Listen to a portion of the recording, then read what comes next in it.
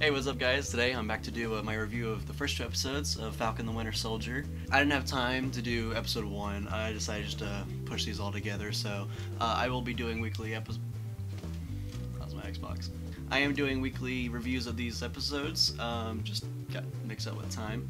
Also, these reviews are going to be spoilers, but these first two episodes they don't really have that many big spoilers. So uh, if you do watch this and you haven't seen it, you're not missing out on too much. But I do suggest you go and watch these. In this series, the first thing I noticed, uh, especially in episode one, is the show is shot really well. It's shot way different than any other Marvel movie or show that we've had so far besides WandaVision. Marvel's definitely letting directors have their own vision now. I mean, they, they, they have, but I guess in the past, they just. I mean, if you showed me any movie besides like the Russo brothers movies, I could be like, this could have been directed by you know anybody. There's no specific director vision uh, when it comes to Marvel, but this one I can tell that they they definitely have someone different doing this. Um, and I, and I, I, like the way it's shot. It looks really good to me. I really like how Marvel's kind of stepped up their action. It's not just kung fu at this point. I mean, kind of is in episode two. But in episode one, Falcon's like flying through. He's doing like Falcon specific abilities, which is what I want. Every Marvel movie, we have Captain America doing karate while Iron Man's shooting up stuff. So I'm just I'm ready for new stuff, and I definitely think the first episode delivered with that. I really dug the the opening action sequence in the first episode. I like how Bucky has this this list of people that he's making amends with. With all that's happening, they they don't know that he's gone, you know, good and stuff. He doesn't kill anymore. And sometimes people just don't know. Like he has with the old with the old man. He killed this old man's son in a flashback, which was really sick. I love the Winter Soldier. It was really nice seeing the Winter Soldier uh, in, that flashback. I I absolutely loved it. It's really interesting him seeing trying to make amends with his old man, and his old man clearly misses his son. Like he has he has flashbacks and he breaks down crying, and it's it's really it's really sad to watch. It's really it's really heartbreaking. You know, you really feel for him, and you kind of feel for Bucky too because he was brainwashed. You know, he didn't mean to do any of those.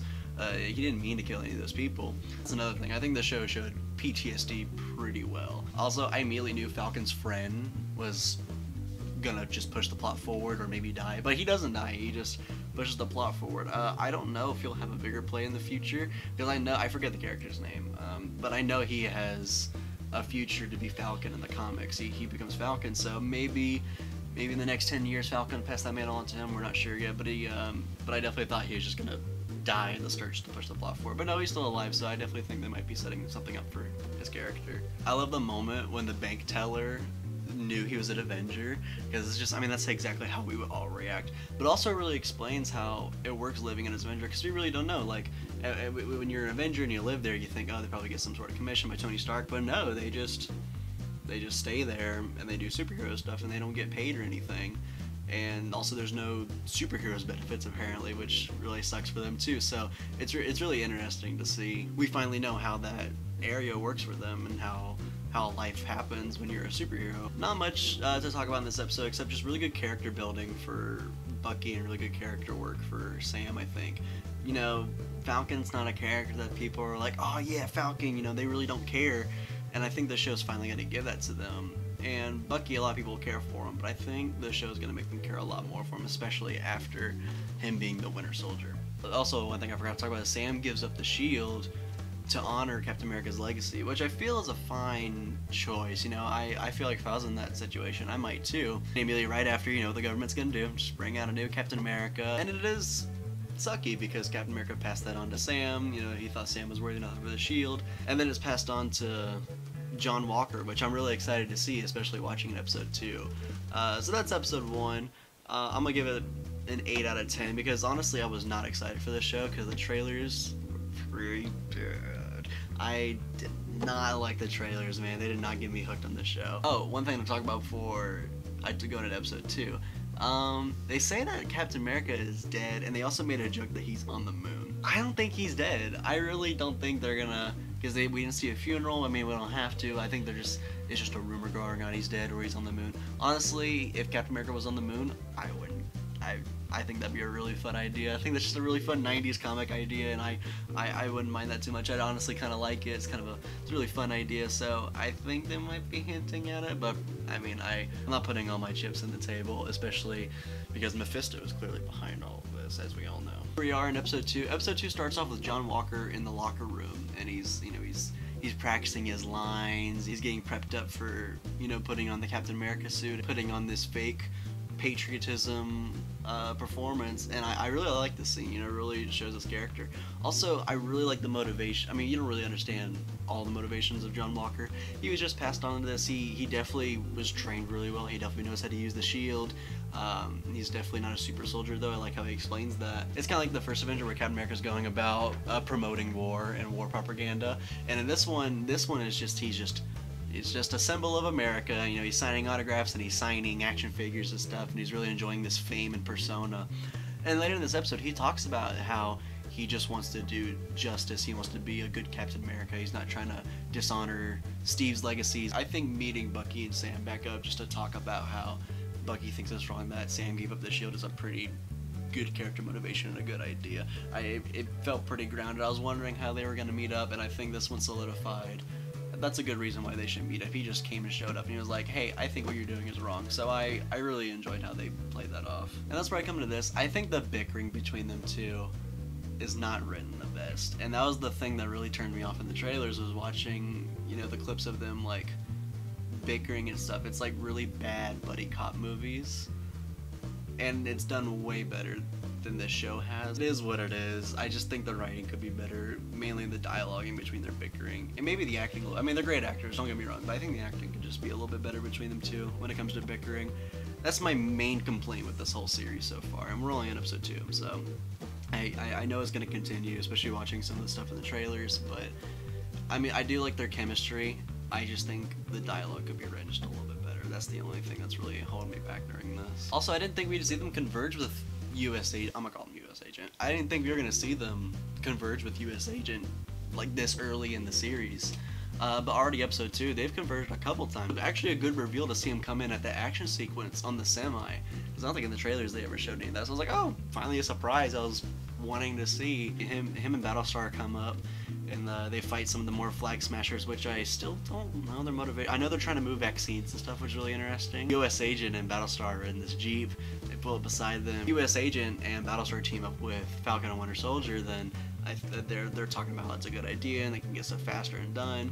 Uh, and Falcon and Bucky are like, no, we can't do that because you guys have guidelines and we're free agents. We can do whatever the hell we want. So like that's a really good interesting point because I never really understood like government's not limiting them, so they can literally just do whatever they want, whatever, whenever they want. And I really didn't think John Walker was, you know, an evil guy. You know, he's got his own motivation. He's talking about how in the GP just wants to be the best Captain America he can be. You know, he wants to honor that legacy. And then he was like, I think he said the line like, I think I think we could be a good team with Cap, uh, me and Captain America's sidekick. And like, that's where he's a dick. I feel like he didn't mean it on purpose. He's just a dick on accident. Honestly, Falcon and Winter Soldier, mainly Winter Soldier, are being kind of an asshole to them. Bucky and Sam are kind of being assholes to them where they're just trying to help. And I understand their point, but they're kind of in the wrong because Sam did give up the shield. John Walker was chosen by the government, so it kind of makes them come off like assholes.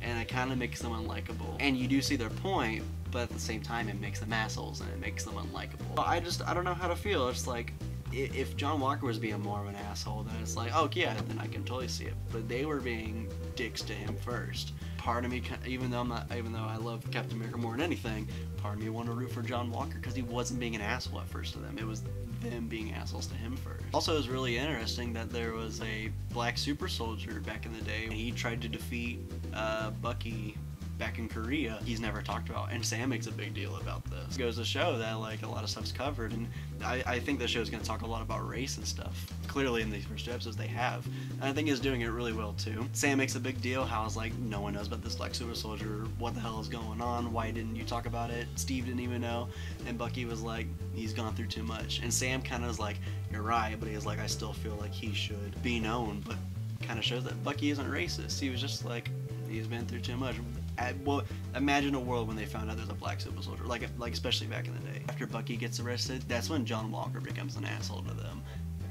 And he has every right to be. They were pretty rude to him. Also really excited to see how they're going to, you know, go against each other, especially if they're following the same case. Uh, it's to be like a, you know, who gets to it first. So I'm really, I'm kind of excited to see that. And lastly, I guess the re big reveal, which really wasn't a reveal in this episode, is that they would need to go talk to Zemo.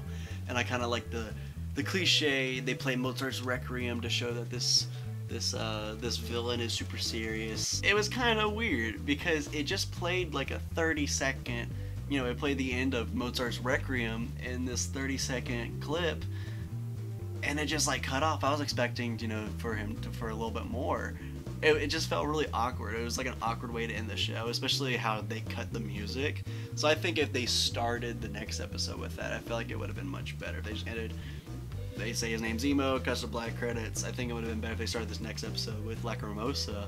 I think that would have been much better. It just felt really awkward and really like it was just cut up a little weird to me. So that's it. So far, I give this. I don't know what to give this series. Uh, good episode. If I'm rating each episode, I'm gonna give the first episode eight out of ten. Uh, I would give this episode maybe a 9 out of 10. Nah, I would give the first episode a 9 out of 10. I really enjoyed it. I give this episode at about an 8 out of 10. I really enjoyed it too, but I don't know, it just kind of made Bucky and Sam look like assholes to me. And I was like, which I do like, which I'm fine with, but just part of me just kind of didn't kind of want to root for John Walker a little bit, and I feel like a lot of people are going to see past that. So anyway, I hope you guys really enjoy my review on these two episodes. I'm going to try and keep up weekly. If not, I'll just do three videos of two chunked episodes, but I'll try and keep up weekly. Don't forget to hit the like button, subscribe, and share, and I'll see you guys later. Bye.